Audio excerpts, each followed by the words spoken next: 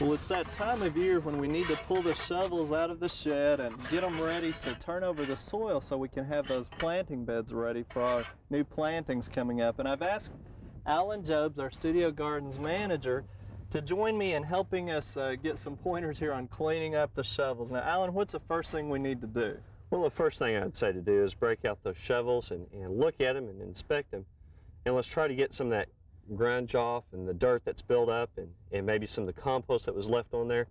And just use a wire brush and, and break it loose if you have to. Break out the water and, and a little bit of soap and a scrub brush and just clean those up. Now, I know sometimes they get a little bit more rusty and corroded. What, Yeah. what do we do in that case? Well, the next thing is I'd break out a, a right angle grinder with a wire wheel. Be sure to use some protective goggles and just use it to clean it up like this.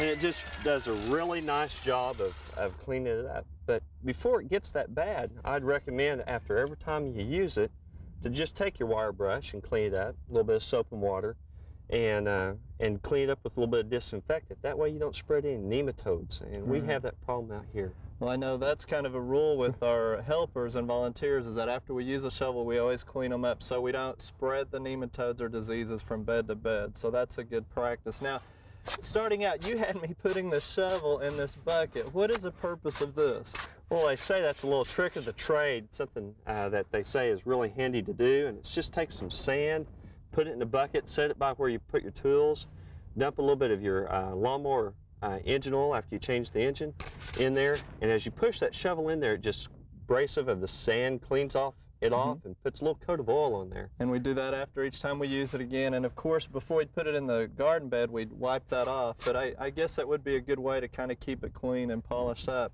Well, Allen, thanks. And, and we're going to have Allen back in a few weeks to help us uh, sharpen up the tools on how to sharpen pruners and shovels to make sure we don't have to put maybe as much effort in the That's garden. So, true. Allen, thanks again. Thank you, Steve.